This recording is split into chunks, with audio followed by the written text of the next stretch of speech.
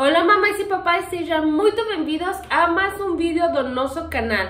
Esse vídeo, mamães e papais, para mim é muito especial, pois vai ser sobre perguntas e respostas. Aqui meu querido marido vai fazer as perguntas que vocês deixaram na caixinha e eu vou responder. Então fique aqui comigo que vocês vão conhecer mais sobre mim, sobre o Tomás e Jamila e a nossa família.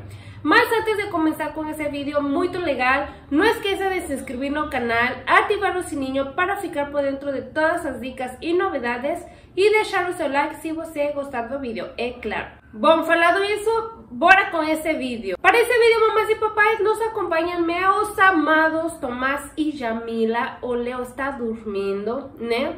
E aqui o meu marido Rafael vai fazer as perguntinhas e eu vou responder. Fala aí, Rafael, a primeira pergunta. Pergunta da Bárbara: Como surgiu o mundo Shih Tzu?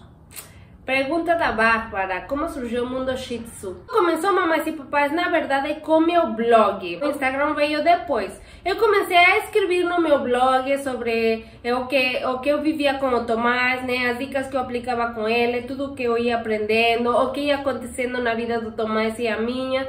E o blog começou a ter muitos acessos e inclusive esse aqui, se você não conhece, vai lá, que lá ainda escrevo bastante e compartilho muitas dicas e experiências que eu vivo com eles dois, né?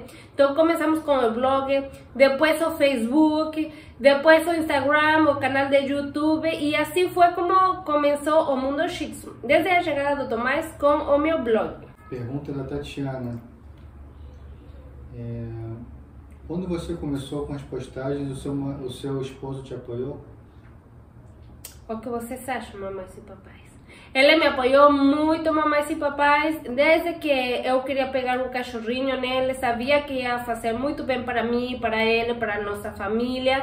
Ele me apoiou muito eh, desde o início que eu comecei a escrever no meu blog. Meu português não era muito bom, né? Ainda preciso melhorar muito. Então ele me ajudava demais. Eu escrevia do meu jeito e ele ia lá e arrumava tudo, né? Para poder eh, publicar no blog. Se eu fazia uma imagem ou qualquer coisa que eu fosse escrever, sempre passava por ele primeiro, né? Porque meu português não era nada bom. Então ele me ajudava demais e continua me ajudando muito. Qual é a outra pergunta, Rafael? Pergunta da Tapotter. Você ganhou ou adotou Tomás? Pensava que era mais fácil ou difícil cuidar? Eu ganhei o Tomás, mamães e papais. É, a verdade, eu pensei que era um pouco mais fácil, né, cuidar dele. Eu sabia que ia ter os seus desafios e tudo mais. Mas é, com o tempo fui é, tendo algumas dificuldades, né? Eu desenvolvi ansiedade por separação do Tomás, a falta de apetite do Tomás, né? Que me deixava super preocupada. Em um momento ele ficou agressivo, nossa, eu ficava com tanto medo dele que eu deixava ele no quarto, trancado, esperava meu marido chegar para, para eu tirar ele de lá, né? Porque eu tinha medo do Tomás, de tirar alguma coisa dele.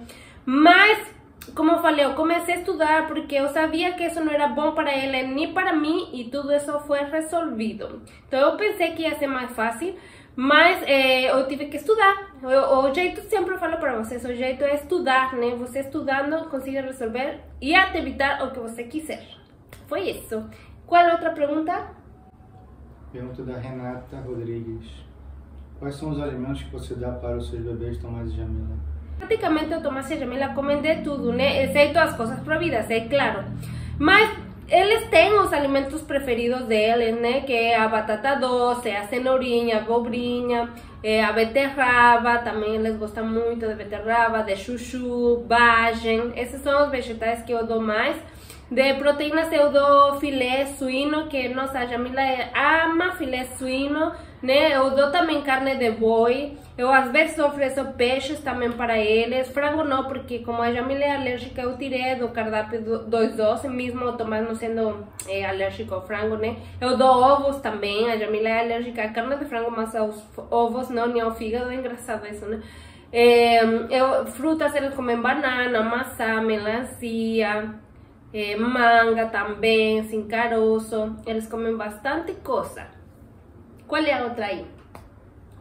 Pergunta da Aline Vieira.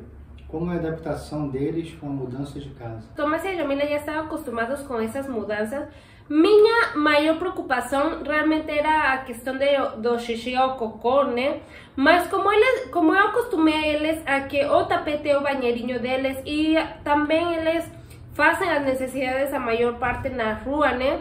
Quando eu coloco um tapetinho, eles fazem no tapete. Então, essa preocupação não é mais, porque aonde eu colocar, eles fazem.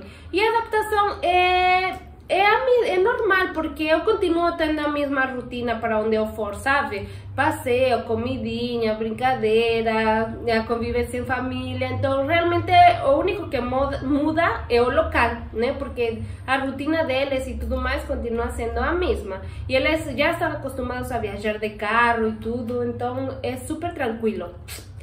Qual é a outra pergunta, Rafa?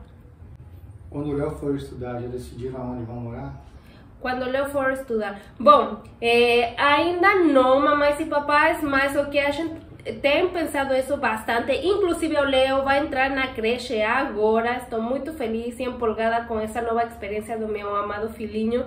É, mas a gente pensou que podemos ficar por mais tempo na cidade, né? Ao invés de ficar um mês, dois, ficar um ano, seis meses, depende, né? Também da escolinha, tudo mais, se isso é possível. Mas com certeza eh, a gente vai ter que ficar mais tempo numa cidade, eh, não como agora, que a gente fica um mês, dois meses e, e se muda. Vai ser assim. É o plano, vamos ver se vai funcionar, se não a gente vai ter que ficar por mais tempo, né? Porque tudo seja pelo do nosso filho. E isso.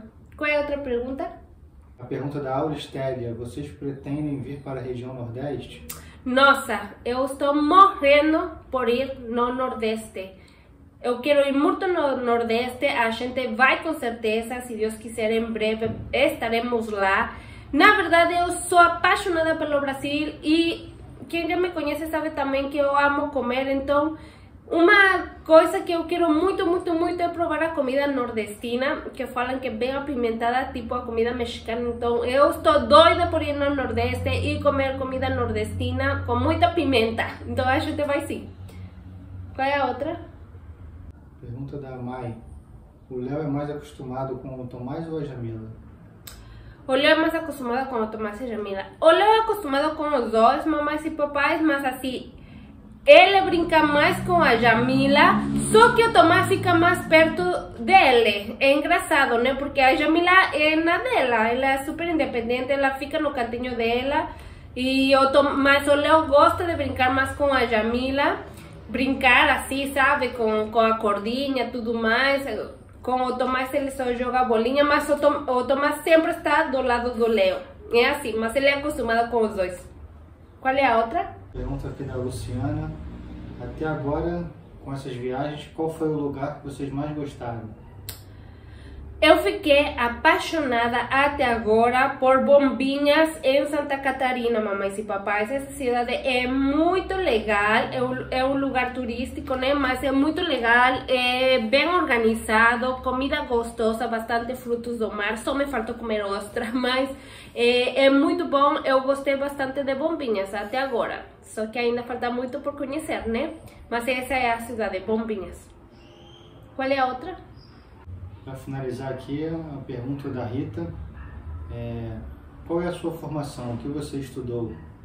Estudei marketing no México, sou formada em marketing e aqui no Brasil eu fiz vários cursos no ramo né, PET porque eu amo esse, esse, esse ramo. Eu estudei auxiliar veterinária, vários cursos sobre alimentação natural para cães, eh, também estudei banho e tosa profissional né? Fiz cursos de adestramento, como falei, eu estudei bastante sobre o mundo dos nossos cachorrinhos, porque eu gosto de aprender e também para proporcionar mais felicidade e qualidade para nossos cachorrinhos. Então, isso praticamente.